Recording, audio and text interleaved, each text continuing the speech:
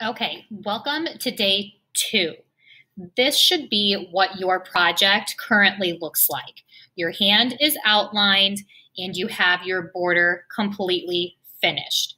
Now, for day two, what we are going to do is we are going to take our marker and we are just going to add some different lines onto our hand to make different sections because in these sections, we are going to be adding a variety of lines. So I already went in with my pencil and drew where I wanted these sections to be. That is probably a good start for you as well, rather than just jumping in with your Sharpie. So I have all of my sections to my hand complete. Now, in all of these different sections, I'm going to fill it up using a variety of lines. So maybe I'm going to start with a straight line. And if you feel more comfortable just using a pencil at first, that's fine. And then you can go back over it with Sharpie. Once that section's done, then I'm going to switch to a new line for this section. Do you see how all of these are just new shapes? That is going to have a new line in each one.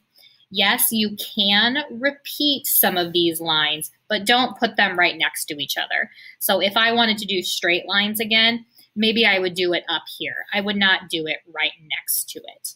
So maybe I just want to do a wiggly line. And like I said, this is a really good project for review because some of these lines we may have forgotten about. And it's really important to incorporate all of these different lines into your projects. Okay, so my wavy lines are done. I'm going to go to a new section, and maybe this one is going to be zigzags.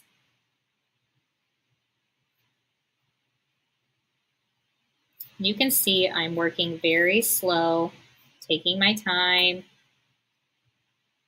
doing a nice, neat job.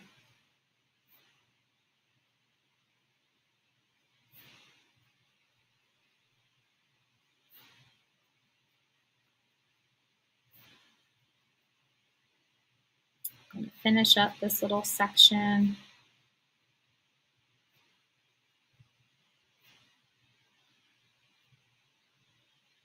There we go. So what you're going to do is you're just going to complete your hand. This is day two. Day three, I'm going to show you what we are going to do for the background. The background, just leave white for right now. I'm going to continue working on my hand, so I'm going to keep the video playing. But if you want, you can get your project out and you can start working on these patterns. So I'm just going to continue working in the background.